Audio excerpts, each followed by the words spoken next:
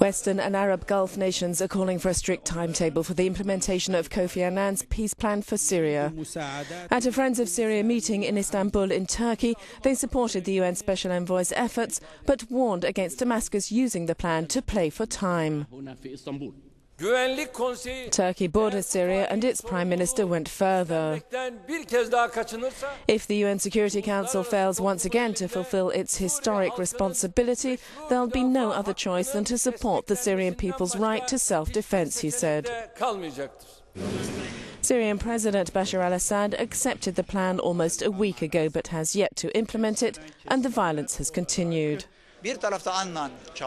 But this analyst believes the international community is sending mixed messages, with, on the one hand, Annan working for a peaceful political solution, and on the other, various parties discussing giving money and even arms to the opposition. He describes it as Western hypocrisy.